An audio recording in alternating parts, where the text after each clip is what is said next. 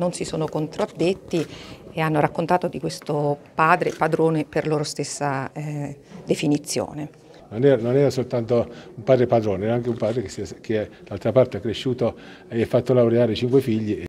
Un padre padrone che non si faceva problemi ad alzare le mani sui figli e sulla moglie. Questo è il ritratto emerso in corte d'assise a Lanciano di Aldo Rodolfo Di Nunzio, 72 anni, accusato di omicidio volontario aggravato della coniuge Anna Maria Deliseo, 60 anni, trovata senza vita il 15 luglio di due anni fa nel garage cantina della casa familiare Conicella.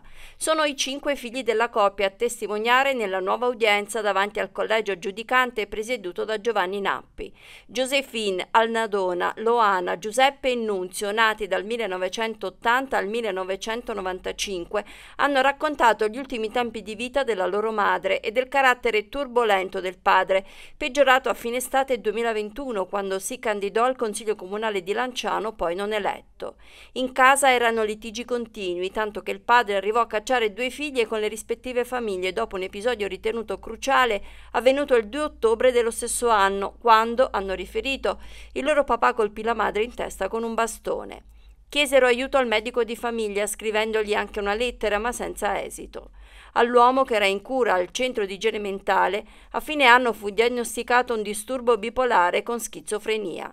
Nel frattempo la moglie era finita anche lei in cura per stati di ansia. La vita col marito era diventata insopportabile, ma dopo aver lasciato la casa per un paio di mesi era tornata per timore che lui potesse portare un'altra donna sotto il tetto coniugale, vanificando tutti i sacrifici fatti. Solo a Dinunzio infatti è intestata la casa di famiglia. Quindi l'epilogo tragico di quel 15 luglio, quando l'ex ispettore dei vigili del fuoco chiamò dapprima i soccorsi e poi i figli, dicendo che la moglie si era impiccata. È colpa vostra, avrebbe poi accusato gli stessi figli di aver cagionato la morte della madre. Ma come? Mamma non sapeva annodare il cappio per impiccarsi, è emerso dalla testimonianza di uno dei figli. Prossima udienza a fine novembre, con altri testi da ascoltare.